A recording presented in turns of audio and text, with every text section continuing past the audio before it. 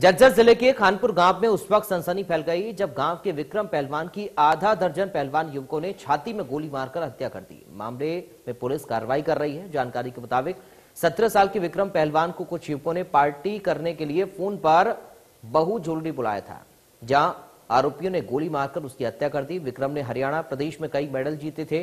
Police incharge Rampal Singh ने बताया कि पाँच से छह युवकों के खिलाफ कार्रवाई की जा रही है। जल्द ही गिरफ़्तार किया जाएगा। बस इसको कोई बहाना करके बुलाया है भाई, कोई, भाई भाई, पार्टी वार्टी करेंगे? और फिर उसमें इसको चक्कर में फंसा कर इसके साथ धोखे से इसका मारे। पार्टी सार्टी के लिए फ़ोन करके बुला था, भाई, आज पार्टी करेंगे।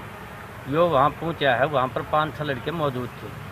किस बात पर कहा सुनी वहाँ जाके नहीं इसका एक गोली मारी है, भोले, और उसका सुमित नाम असली सुमित उर्फ़ भोले ने गोली मारी।